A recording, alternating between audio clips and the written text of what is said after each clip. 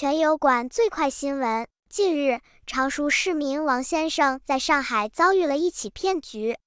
他花费五十万元治疗儿子的自闭症，但效果并不明显。王先生在一个自闭症治疗群中得知了恰需机构，该机构宣称可以治愈自闭症，治疗成功率达百分之九十二。为了给孩子希望，王先生与恰需签订了服务协议，支付了巨额费用。然而，调理服务后，孩子并未有显著效果。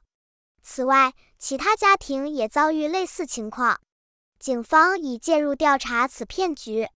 这是一起涉及自闭症治疗的骗局，多个家庭被承诺治愈效果，并支付了巨额费用，但调理服务后孩子并未有明显变化。